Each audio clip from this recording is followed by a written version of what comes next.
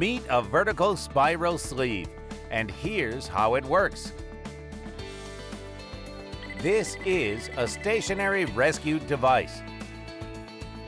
That is, it needs to be specially installed and fixed in a special way on the floors.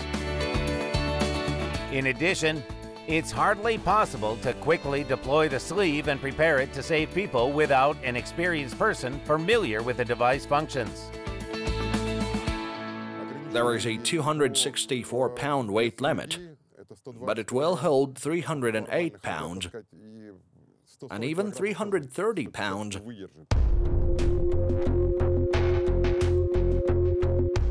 Another disadvantage is the height limit. Such sleeves usually do not exceed 147, 164 feet. And remember that there are modern buildings that are 328 feet high and higher.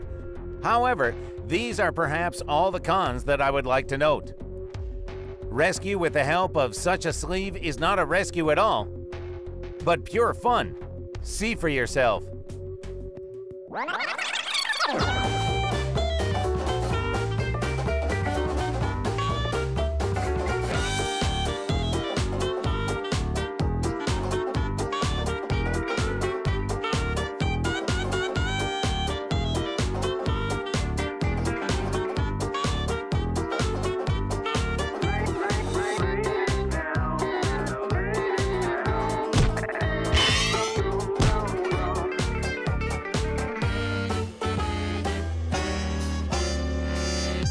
That's all. Checked.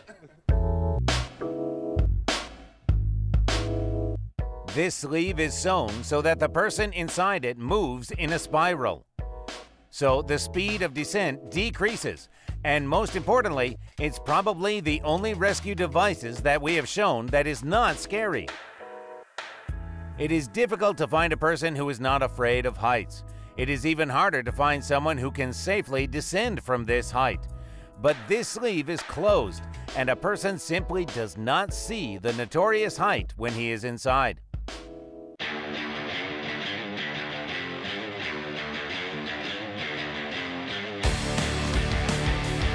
Hence the ease with which many members of our film crew so readily agreed to go down the sleeve from the ninth floor. The productivity of these sleeves is five persons per minute. Here, well, I just know about Korean sleeves. They conducted an experiment and 300 people went down in 10 minutes, sufficiently prepared. Well, they just went down one by one.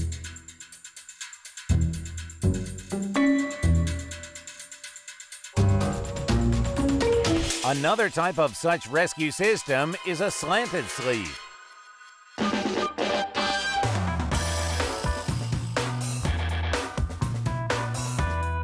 Here, in addition to fixing it on the floor, there must be a special fixation on the ground. And again, this requires both advanced preparation and time. But other than that, the system is very simple. It's as easy to use it as to go down the slide.